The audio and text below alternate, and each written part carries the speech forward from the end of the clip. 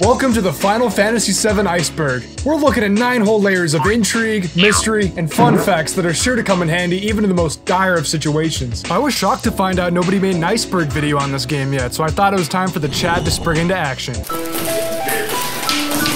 Anyways, you clicked on this video, you probably know what you're getting into. You most likely already know who this dumbass is, and you probably know what an iceberg chart is. But just in case you don't, or if you're my dad, it's a chart listing facts that range from common knowledge to some Alex Jones conspiracy theory type shit. Major shout out goes to the absolute mad lad that made the original iceberg image. Let's give it up for Reddit user The Strife is Rife. Just so you know, this video is technically their fault. This is gonna be a long one, so let's not waste any more time and just jump right into the first layer.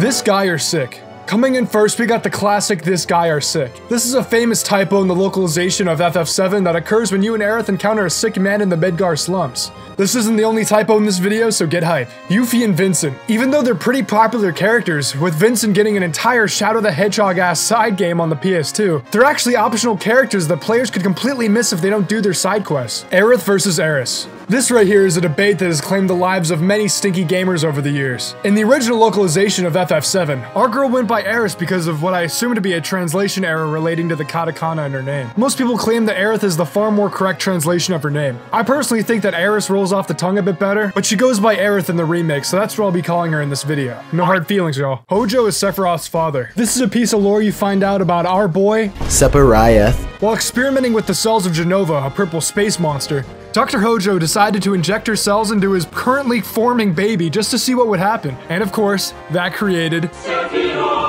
that leads right into Lucrecia as Sephiroth's actual mom. Even though Sephiroth would shut the hell up about mommy Jenova, the Shinra scientist Lucrecia is Sephiroth's real mom. Aerith dies, in a twist that was shocking back when it came out. Towards the halfway point of the game when you get to the City of the Ancients, Sephiroth swoops down and impales Aerith right through the chest and kills her right in front of you. I feel like it'd probably be a little bit more impactful if this part wasn't such common knowledge. I swear to god, before I knew what Final Fantasy VII was, I knew that this chick dies. Cait Sith. One of the mandatory party members in the game is this robotic cat named Cait Sith. Besides being a dumb bitch, this character is notable for the pronunciation of his name. Cait Sith isn't pronounced how it's spelled, Kate Sith. His name is actually Scottish Gaelic and is pronounced Ket Shi.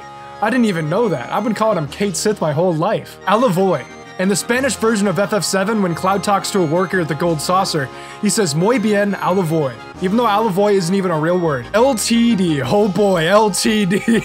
This is an abbreviation for the love triangle debate. If you're looking for sweat, this is the place to find it. It's an argument that has transcended decades and many message boards asking the big questions. Who did Cloud love more, Tifa or Aerith? Sephiroth is actually Jenova most of the game. Yeah, before you find Sephiroth's regenerating body in the northern crater during the events of Disc 2, the Sephiroth you've been seeing up until that point was actually a vessel controlled by Jenova. Be a cause. During a pivotal and dramatic moment in the game, there's a stupid ass typo that reads, Be a cause, you are a puppet. Be a Cause is also the name of a popular translation of FF7 that corrects a lot of the mistakes of the original localization, reviving Aerith. This was a very popular playground rumor that refers to being able to revive Aerith after her death. This of course has been proven false multiple times and sorry to say it buddy, unless you cop a Game Shark, Bay ain't coming back.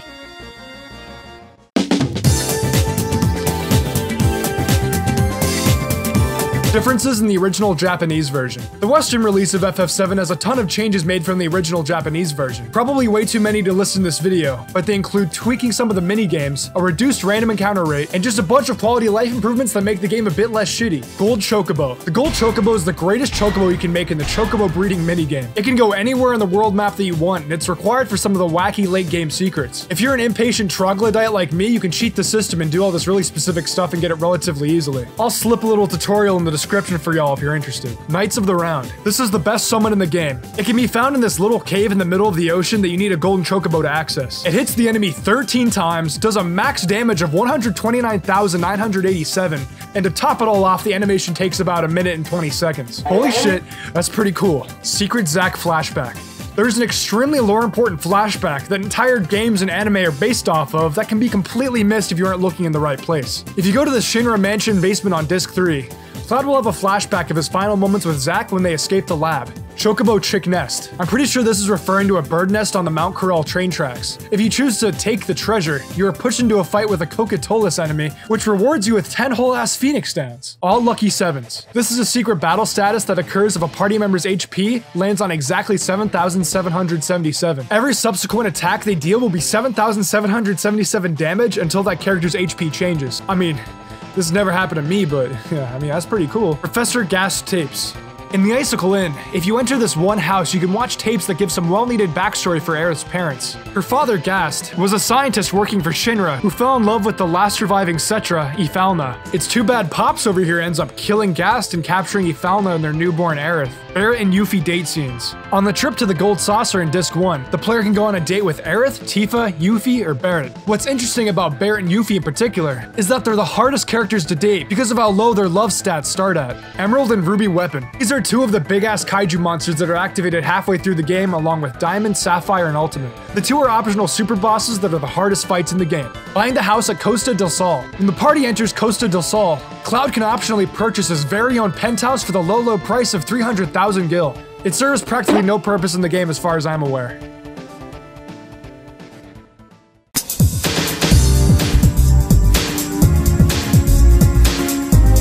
Versus Guide. This refers to an unofficial strategy guide written by Casey Loe and published by Versus Books that's famously way more in depth than the official guides for the game. It's got all this cool ass artwork that makes it an interesting guide to flip through for a true fan like me. I'll link the archive scans in the description. N64 tech demo. Back when FF7 was still going to be developed for the N64, our boys at Square made this tech demo with characters from FF6 fighting this rock monster. It's pretty cool. Carad FMV and Shinra building. When the team raids the Shinra building at the beginning of the game, you can take a little detour and watch the most ominous car ad of all time. Rude won't attack Tifa. As you find out at Gongaga, Rude has a bit of a crush on Tifa and this actually shows through during gameplay. During your fights with him, Rude will never attack Tifa unless he doesn't have a choice. What an absolute king. Bugenhagen worked for Shinra. It's true, everyone's favorite floating green man actually used to work for Shinra. Cait Sith tells you at some point, but I honestly don't remember where. Tifa and Sid can also chocobo race and snowboard. If you have either Tifa or Sid in your active party while participating in the super fun, totally not bad chocobo racing minigame, they'll randomly ask to give it a shot. The same goes for snowboarding. This doesn't have any bearing on the game mechanically. No way and off course.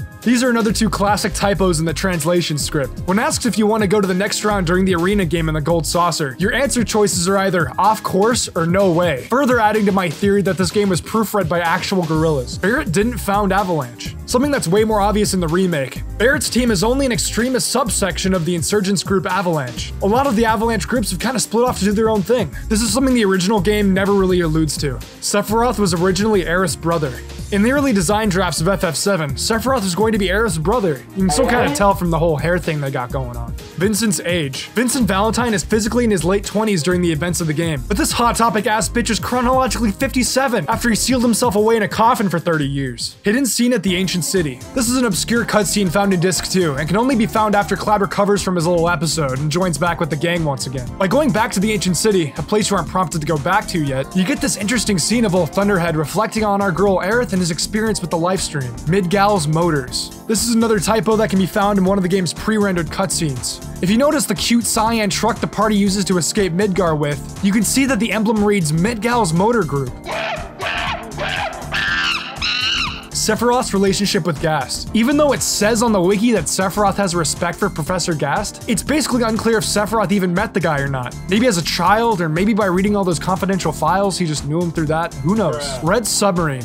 If you fail the submarine minigame, it actually opens up a new event where you can steal a red one from the Junon dock instead. It sucks because most people will never know this because of how piss easy the submarine minigame is. It looks kind of fire in my opinion. Fort Condor Bad Ending. Fort Condor is an optional area where you can play a real-time strategy game that involves protecting your tower from enemy forces. I assume the bad ending is referring to how if you fail, you're forced into a boss fight with the CMD Grandhorn. Tobal No 1 FF7 demo disc. Resident mediocre PS1 fighting game Tobal No 1 included a demo disc for FF7. The demo is noticeably different than the final game. For one, there's this opening text crawl in the void at the start of the game. The music is slightly different, and Cloud is just way more pissed. Touph Ring. This is an accessory that can be stolen from Reno when you fight him on the sunken Gelnika. It probably goes without saying, but it's supposed to be Tough Ring, but, you know, monkey. Zangan. Zangan is a minor character that taught Tifa and 128 other students across the world martial arts. This champ also helped Cloud rescue survivors when Sephiroth lit Nibelheim on fire. What an absolute mad lad I didn't even know existed.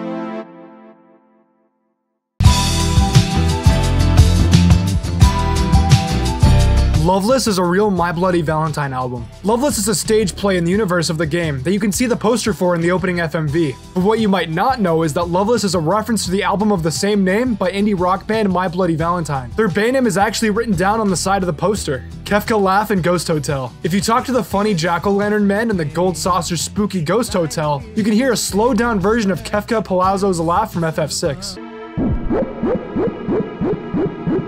FF7 and Coconut Fred. Have you ever heard of Coconut Fred, the 2005 Teletoon TV show?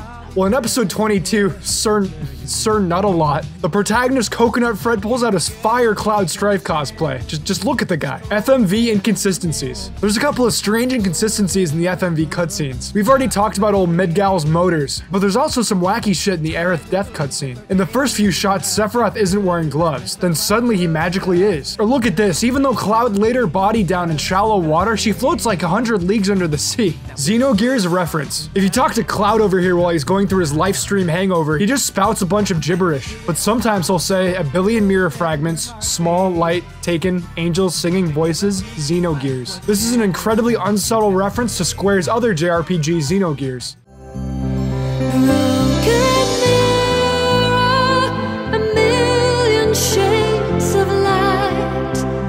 Cloud and Aerith, and WoW. In the World of Warcraft expansion Legion, you can find these two NPCs that bear a striking resemblance to two people we know and love. Laughing in 500 Years Late scene. The after credit scene shows Nanaki and his cubs coming across the remains of Midgar 500 years later. However, after the logo appears, there's this black screen where you can hear creepy ass children's laughter.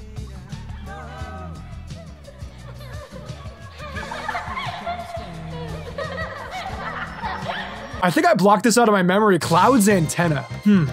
I'm not sure I know what this could possibly be alluding to. I have no godly, earthly idea, guys. Reeve's parents at the Honeybee Inn. If you look through one of the keyholes at the Honeybee Inn, you can see an old couple talking about how their son rented out a room for them. It's heavily hinted at through their dialogue that their son is Reeve Tuesti, head of urban development at Shinra and the controller of Cait Sith. 135 scale soldier. This is an item that does absolutely nothing. You can win it as a prize at the speed square, or find two in Junon by just taking a look around. People thought you needed to collect 35 for something cool to happen, like, I don't know, Aerith coming back to life. Pizza Hut and Domino's name puns. When your party's in the Shinra building, you meet Mayor Domino and his assistant Hart. Hart could also be translated as Hut, so basically you got Domino's and Pizza Hut. Good to know that Sakaguchi likes pizza pizza chains as much as I do. Secret Cow Level. This is an easter egg in the 2012 re-release of FF7 on PC that you can find if you use the save crystal in this exact room in the final area. It saves your location as the Secret Cow Level. This is a reference to Diablo and its hidden level Moo Moo Farm. Mount Colt's billboard. In Sector 8 of Midgar, it's really hard to see, but there's this poster advertising a place called Mount Colt's. This is a callback to an area in the last game, The Maiden Who Travels the Planet. This is a novella written by Benny Matsuyama that details Aeris's point of view immediately after her death. She meets up with the spirits of the other deceased characters in the game and helps them to move on. Well, I'm not entirely sure if it's canon or not. The hot boys and girls over at the lifestream.net actually made an audiobook for it that I'll link in the description for those that are interested. Ghost Square Bat when pressing L1 R1 circle. Going back to the spooky ghost hotel, there's another Easter egg that can be found in the courtyard by pressing L1 R1 and circle at the same time. Makes this cool ass bat fly across the screen. In character diary entries in FF7 Kaitai Shinsho. Sometimes referred to as Final Fantasy VII Dismantled, it's a book that came out very close to the game's release. It contains a bunch of supplementary material about the characters, along with diary entries that dive into how everyone was feeling at certain points of the plot. I don't think these have ever been translated to English.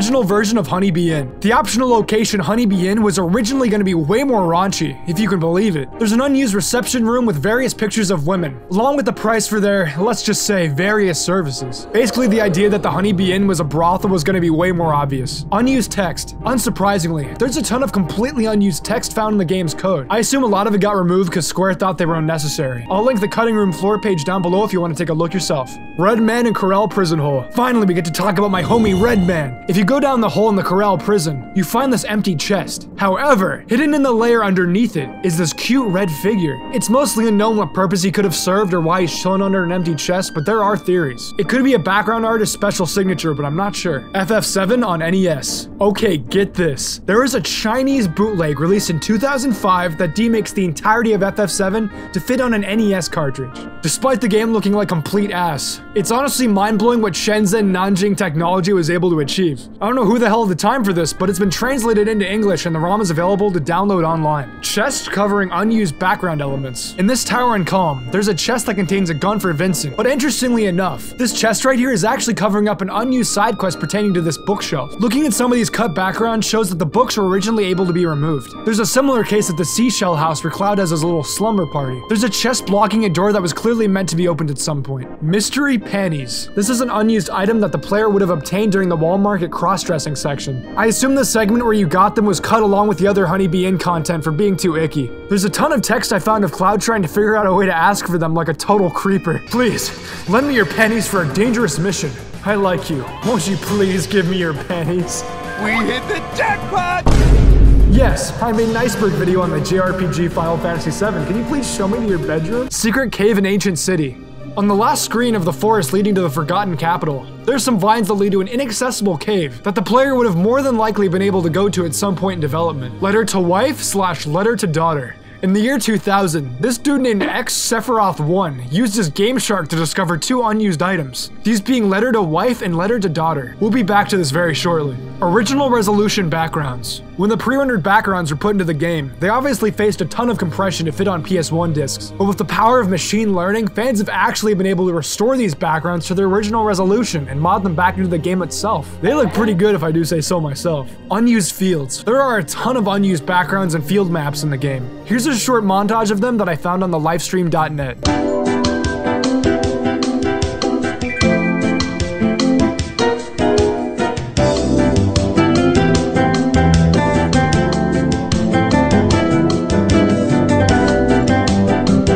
Traveling Salesman. There's an unused side quest involving a traveling salesman in Gongaga. You would have actually had to deliver the letter to wife and letter to daughter items to their destination. The salesman dialogue is still translated and in the game's code. Fourth disc in Japanese international version. Japan got an updated release of FF7 that included all the changes made in the international versions of the game. What's interesting though is that it came with a fourth disc that never saw the light of day in other markets. It's got a guide, a database of concept art, a world map that lets you check out all the areas and items, a model viewer, and even some beta footage. This shit is so fascinating, bro. I could probably squeeze out an entire video on this alone. Different save icon in each memory slot. Depending on which slot you save your game on, there'll be a different character for the save icon. Slot 1 is Cloud, 2 is Barret, and so on and so forth. Debug rooms. Deep within the darkest depths of FF7, you can find an extremely detailed debug room by entering in GameShark codes. I won't lie, it's kinda spooky. The whole thing is like this creepy black void with the character models standing around ominously. We'll come back to this later too. Aerith text in the Great Glacier. By using GameShark to bring Aerith to the Great Glacier, she has a line of dialogue that says, I'm sick of this. This is really weird as, at this point in the story, she had died not too long ago. The map author probably didn't know if she was going to be dead or not at that point, so the text is still in the game's code. Trap. This is the name of one of the many unused maps we were talking about before. Until May of 2014, people had no idea what it actually looked like. All fans had to go off of for a while was a texture rip with a bunch of graphic tiles just thrown all over the place. But with the efforts of a dude named Brutal Al, it was finally rearranged into what we see today.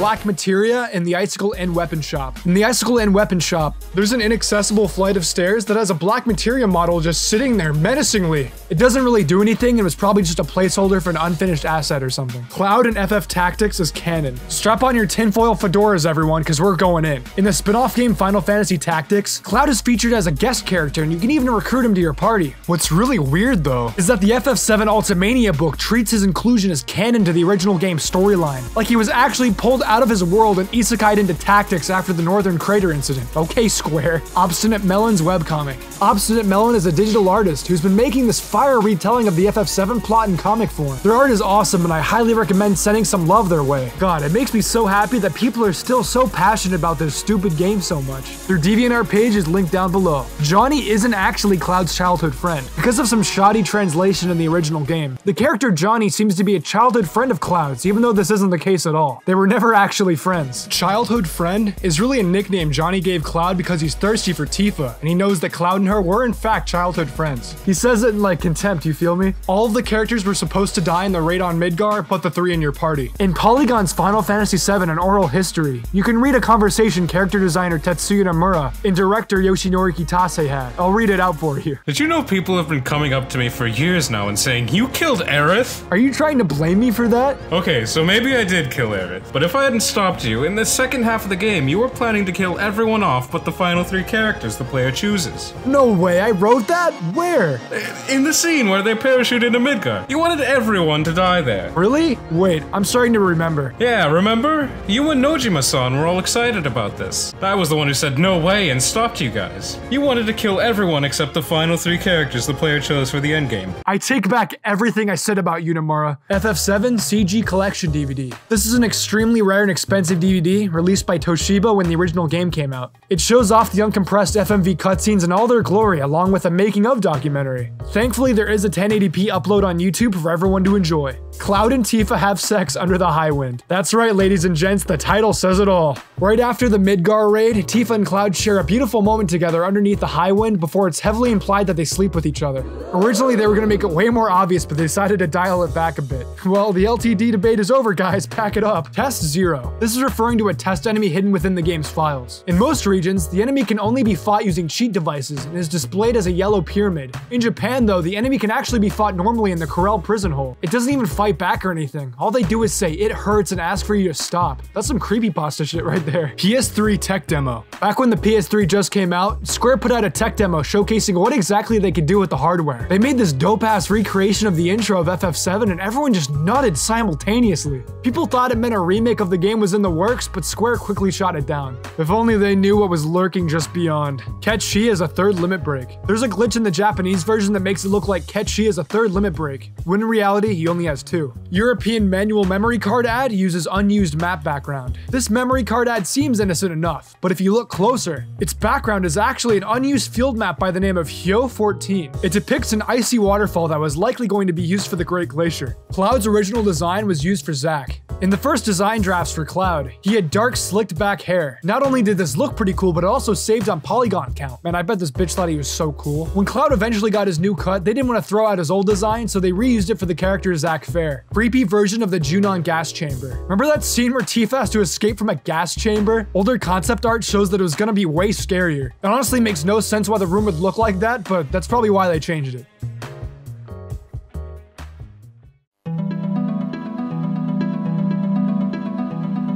Yuffie and Vincent original roles. The basic idea for Yuffie at first was that she was going to be a 25 year old bounty hunter searching for Cloud and Sephiroth. On the other hand, Vincent jumped around a lot before landing on the edgy vampire man we know today. Most notably, he was going to be a detective hired by a rival company to take down Shinra. After he would try to save Lucrecia from Hojo, he would have put Vincent to sleep for 30 years after experimenting on him. So in that regard, their backstories are a little similar. Red 13 clones. Older concepts for the character Red 13, or Nanaki, show that he was actually going to be cloned by Professor Hojo. These two clones would be named Cobalt 13 and Indigo 13. No reference to this exists in the final game. Vincent dances when Aerith dies. There is an incredibly unfortunate bug that can happen in the cutscene right after Aerith dies. As everyone is paying their respects, Vincent just comes in and does what I guess kind of looks like a dance? Whatever it is, it's incredibly inappropriate considering his friend just died. Jenova, originally a psychic power. The Final Fantasy VII Ultimania Omega revealed that in earlier drafts of the game's story, Jenova was in fact not a purple space monster, but a certain region of the human brain that can awaken and give the person superhuman abilities. Square ended up reusing this concept in other games. Did Soldier exist before Sephiroth was born? Considering that Soldier consists of what are essentially human experiments, and that the creation of Sephiroth and the Jenova project were controversial, it really really begs the question of which came first. Did the Jenova Project give Shinra the idea to experiment on human beings for the purposes of militarism? I have no idea. Parasite Eve is inspired by an early draft of FF7.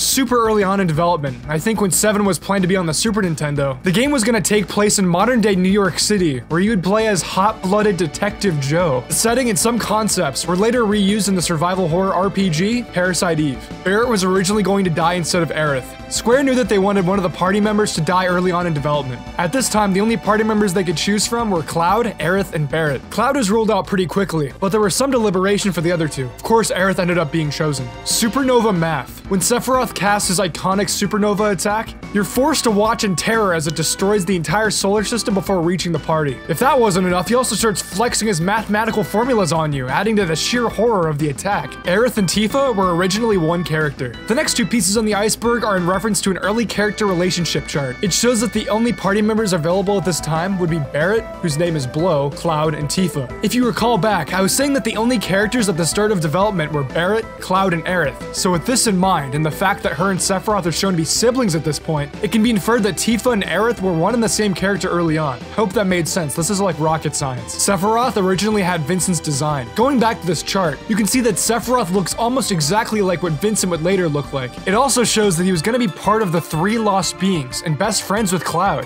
What was the world government before Shinra? Shinra has such a tight grasp on the planet's government and politics during the game that it really makes you wonder what it was like before they showed up. The Cetra clearly had their own thing going on before Shinra, but we're never really given any information on that. FF7 and FF10 take place in the same universe. For the longest time, this was a popular fan theory that tied the world of FF10 to 7.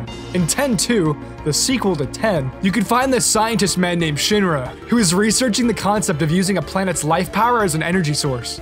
The more I study it, the more fascinating it gets. There's limitless energy swirling around in there. Limitless energy? The life force that flows through our planet, I think.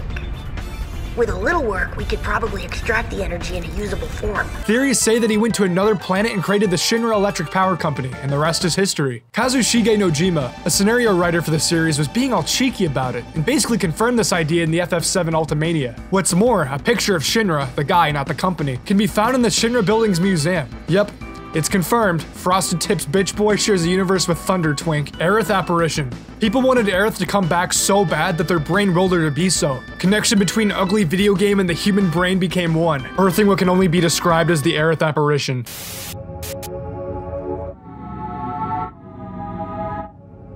Emerald and Ruby items. In the Versus guide we talked about forever ago, there was this error that wasn't fixed till later prints. It claims that for beating the Emerald and Ruby weapons, you are rewarded with an Emerald and Ruby item respectively. This of course is false, as you actually get the Desert Rose and Earth Harp items for beating them. FF7 takes place on Earth. While Sephiroth is casting Supernova, the attack destroys Pluto, Jupiter, and makes a sun explode before the attack reaches you on Earth. Was that just a psychedelic sequence for show? Or does this mean that the world of the game is in fact Earth? Real baby named Sephiroth. This one makes my spine tingle. In 2006, a beautiful baby boy was born into a family in Oak Ridge. And how did they repay him? How did they show their undying love?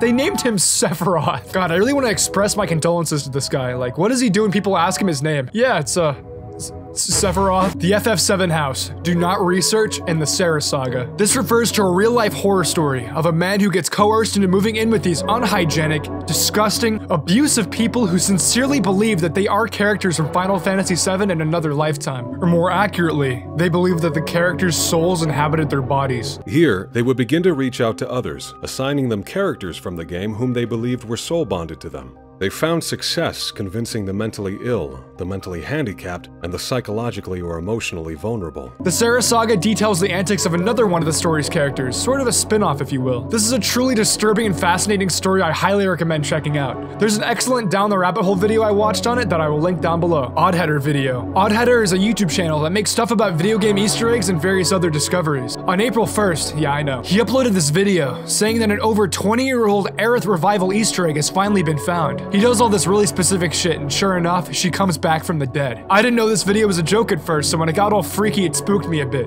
That being said, it's a fun video that you should watch if you're in the mood. How do they know what Texas is? There's a sign above the bar, 7th Heaven, that says Texas on it. How the hell do these people know what that is? There's a similar situation where Cloud can order Korean barbecue at a different bar. It was probably just a design oversight. Ben Lansing. This is a dude who ran a huge internet hoax back in the late 90s stating that, you guessed it, Aerith could be brought back to life. Throughout the past few weeks, I, myself, have been wondering why people are having such a hard time reviving Eris. Because according to everything I saw through the scenario translation process, it could be done fairly easy. These were the early days of the internet, so nobody could fathom he was joking. 99 tissues. The tissue is a pretty useless item in the game. However, there might be more behind it than it lets on. Quoting from a forum post on the subject, it refers to the dramatic tears everyone shed for the loss of their one and lovely Aerith. The side quest is a little tough. When you gather 99 tissues, complete the Aerith Ghost side quest, and play the secret Highwind incident where Tifa kills herself, you go to the church and Aerith comes back to life, and she gains the FF7 equivalent to a nuclear strike as her new weapon. Really? No. Hell House evolved to prey on homeless slum dwellers. The Hell House enemy you fight in the Midgar slums just seems like a goofy enemy, but when you really think about it, it's kinda messed up. Hell House uses its exterior to lure homeless slum dwellers inside so it can eat them. Damn, I just thought Nomura was high on crack or something. The planet's name is Gaia or Gaia. During the course of the game, the planet is simply referred to as the planet, but in E3 2004 in a poster for the movie Advent Children, it specifies the planet of FF7 as the world of Gaia. In other releases and promotional material since, it's continued to be called Gaia. Gaia is also the name of the planet in FF9, so that kind of muddies the water a little bit. Dick Tree. Back in 2012, a forum user named Dick Tree decided to take on the mind-numbingly boring task of leveling up Cloud and Barret to level 99 in the first area. Eventually, he lost enthusiasm for this quest and stopped charting his progress, much to the dismay of other forum users. That was when our hero Circle Master entered the fray and kept the dream alive when Dick Tree pussied out. After grinding for a staggering 525 hours, Circle Master actually did it. So brace yourselves, I'm gonna hit it. And there it is. And it's gone.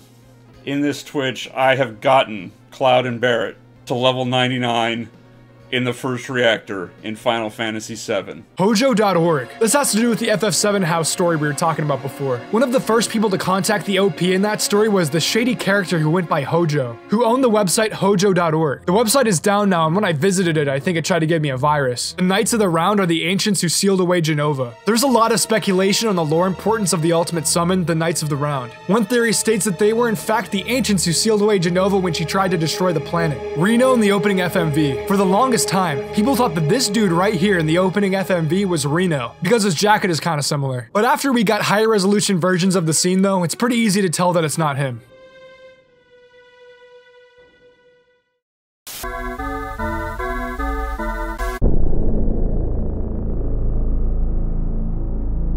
Vincent is Sephiroth's real dad. We all know that Sephiroth was the baby of scientist Lucrecia and Hojo. But what if I told you Hojo wasn't the real father? It could be inferred that Vincent was already romantically involved with Lucrecia before she went to Hojo. So what if Sephiroth is actually Vincent's child? It would make sense. For one, they look and act way more similar. I'm sorry, but you can't look at me and say that this thing made this. Beating the final opponent in the 3D Battler. I'm sure you're familiar with the 3D Battler at the Gold Saucer Arcade. It's complete bullshit and practically impossible to win at a certain point. There are five opponents you can fight, and to even get to the fifth one, you have a culminating chance of 0.0003%. If you somehow actually get there, the fight is completely impossible. That didn't stop this rumor from spreading that if you actually did beat the final opponent, this dude right here would challenge you. Probably not though. Silver Chocobo. This is the most famous Chocobo rumor of them all, so hold on tight guys. It says that if you breed two S-Class Chocobos together, there's a very small chance you could receive a silver one, capable of traveling underwater. This isn't true at all, but at least you can recruit a silver Chocobo to your party in Final Fantasy 13 too. Zack is the guy who are sick in the pipe. Remember the men in the Midgar slums who are sick? Could that possibly be Zack, who faked his own death and went into hiding? Maybe the Mako poisoning finally got to him. This one is a stretch, as Aerith dated him at one point and didn't of course recognize the man as Zack, but who knows? The General.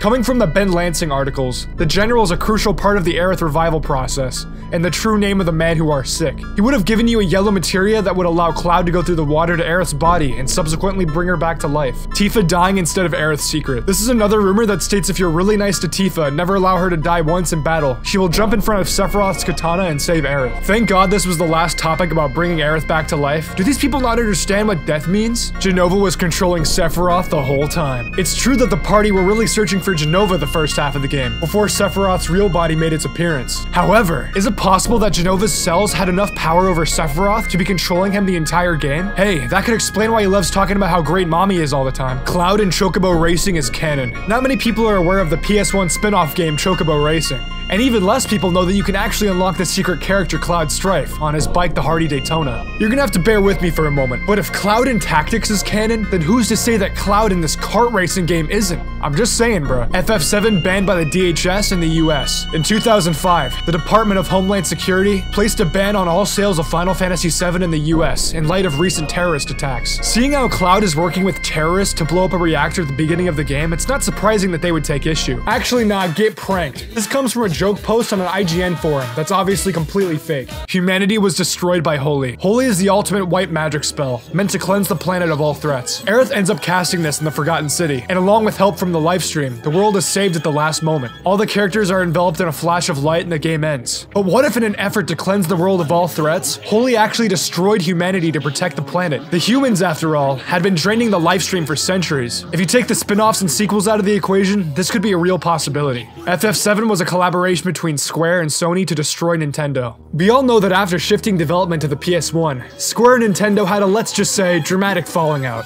Even before that though, Nintendo constantly impeded on the creative freedom of the companies who made games on their platform. So what if Square and Sony, fueled by hatred and malice, created FF7 to destroy Nintendo? I guess we'll never really know what went on back then. 10 Sephiroth. Okay, this is talking about a massive analysis you can find on the lifestream.net, where the writer discusses certain parts of FF7 and how they could connect to the 10 Sephiroth, a Kabbalist religious symbol. If this kind of stuff gets you going, I linked it for you. I'm not gonna deep dive into this if that's what you're hoping. This thing is kinda long. Sephiroth infects Cloud with red lifestream. When Cloud finally beats Sephiroth with Omni Slash, the cutscene afterwards seems triumphant, but upon further inspection, you could see this red lifestream substance come out of Sephiroth and absorb into Cloud. That bitch might have just cursed our boy in his dying breath. Once you've noticed this, it's hard to unsee it. Cheese weapon. This is an incredibly outlandish rumor that can be found on the obscure FF7 rumors site I'll link below. It states that if you do a bunch of really specific stuff, you could eventually go to the moon and fight a super boss called the Cheese Weapon. This whole paragraph is nonsense, but at the same time, I'm glad that I know of its existence, and now you do too. This is Hades. Remember the creepy debug rooms? The ones with the ominous, floating, ugly PS1 character models chilling in the black void? Well, there's one room I want to show you. Going up to this enlarged Aerith model will play the scream sound from the Ghost Hotel. And after that, if you talk to her and choose to Hades, she replies with, silly, didn't anyone tell you? This is Hades. Basically, this is a cheeky way of the devs saying these debug rooms are hell. The entire game is Aerith's future vision. The very first shot you see in the game is Aerith's face. Skip ahead to the very end, you see the same shot. This could very well mean that the events of the game never happened, and that they're all just Aerith's premonition. This may seem really stupid, but the remake actually gives this theory some leeway. Without spoiling too much, Aerith clearly knows things that she shouldn't. Almost like she's already played through the original already. Almost like she watched an over 30 minute long iceberg video on it. After summarizing fun facts and Aerith revival rumors for over half an hour, it's really important to give thanks to the friends who made my dream a reality. I want to once again give massive props to the Strife is Right for helping me every step of the way. I would honestly be shit out of luck without his help, so I really gotta say thank you. I also want to give a big fat thanks to the Lifestream.net and the FF7 Citadel for compiling so much useful information. Even so, if I messed up anything, make sure to lambaste me in the comments so you can correct my wrongdoings. I'm not sure if I'm gonna make any more iceberg videos after this, so I hope you enjoyed the ride and maybe even stick around for some of the other stuff I make. I hope you all have a fantastic day, and with that said, I never want to look at this stupid game ever again.